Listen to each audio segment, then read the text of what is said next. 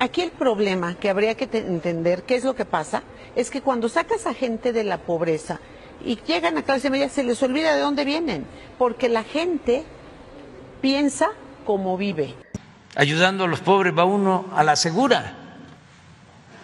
Entonces, no es un asunto personal es un asunto de estrategia política. ¿Qué ser tan miserable este? Digo, de veras me da una vergüenza y un asco y un coraje. Qué descaro, cabrón. Y además es con nuestros impuestos.